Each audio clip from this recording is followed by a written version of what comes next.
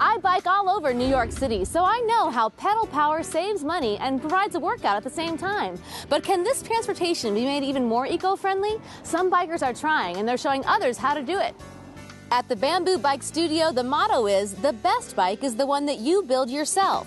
They have workshops here in Brooklyn or in San Francisco, and by the end of a weekend, you ride away on a custom bike made with more sustainable parts.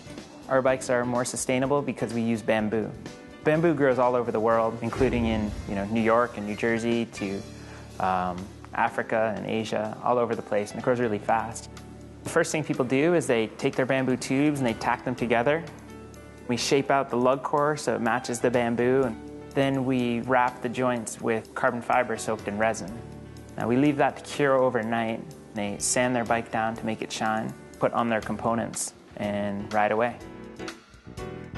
There's a larger purpose to this bike building. Marty and his partners are developing a factory in Ghana where they hope the bamboo bikes will improve transportation and create jobs. We built the factory in this workshop and then packed it up, put it in a container, and sent it to Ghana. We're going to hire 20 local workers to build these bikes. We hope to make 20,000 bikes per year at a 40% discount off imported Chinese bikes. We're building locally made bicycles that hopefully a lot more people can get on and use.